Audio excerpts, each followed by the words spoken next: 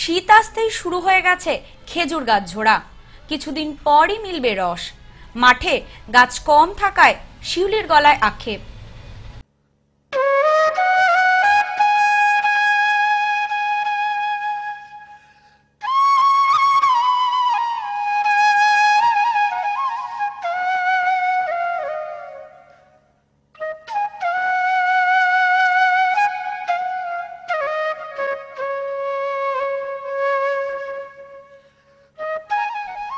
শীত পড়তেই শুরু খেজুর গাছ ঝোড়ার কাজ। শিউলির গলায় আক্ষেপ। মাঝে মধ্যেই বইছে উত্তরে হিমেল হাওয়া। রাতের তাপমাত্রা কমেছে অনেকটাই। আবহাওয়া জানান দিচ্ছে শীত এসেছে দোরগোড়ায়। শীত পড়তেই মনে পড়ে খেজুর রসের কথা। মনে পড়ে যায় শিউলিদের কথা। শীত আসতেই শুরু খেজুর গাছ ঝোড়ার কাজ। বনগার নতুন গ্রামে গিয়ে দেখা গেল সেই ছবি।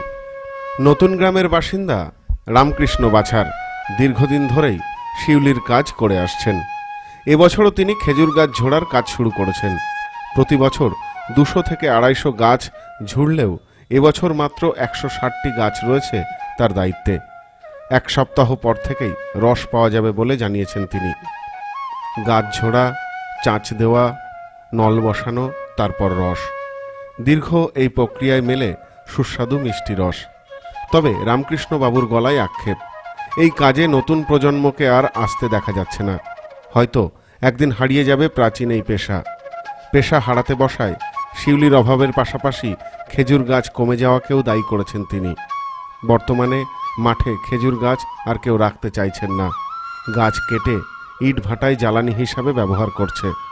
একান্নবর্তী পরিবার ভেঙে যাওয়ায় জমির প্রয়োজনেও খেজুর গাছ কেটে ফেলা হচ্ছে। রামকৃষ্ণবাবু বলেন এভাবে চললে আর কয়েক বছরের মধ্যেই হারিয়ে যাবে শিউলিদের সাধের পেশা। হারিয়ে যাবে খেজুর রস।